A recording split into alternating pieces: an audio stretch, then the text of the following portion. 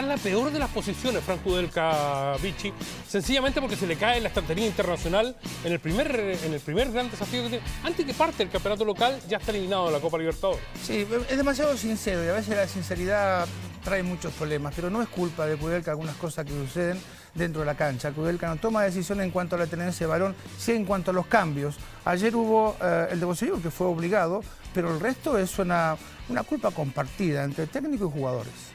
Eh, en todo caso, tiene que tomar decisiones futbolísticas porque sigue reclamando por un 10 que no ha llegado y que es difícil que llegue a estas alturas. Sí, muy complejo y si llega le va a salir muy caro. De todas maneras, eh, maneras Sabino Aguad dio señales como que habían traído todo lo que el técnico pidió, pero evidentemente que falta ese jugador diferente del medio campo. Fue un partido muy tenso en las tribunas, donde hubo reclamos de parte de la hinchada de la Universidad de Chile en contra de la dirigencia y también de Kudelka. Para el técnico de la U, en, este, en medio de este torbellino, fue un partido especial que seguimos, ojo, con una cámara que estuvo con Kudelka durante todo el encuentro.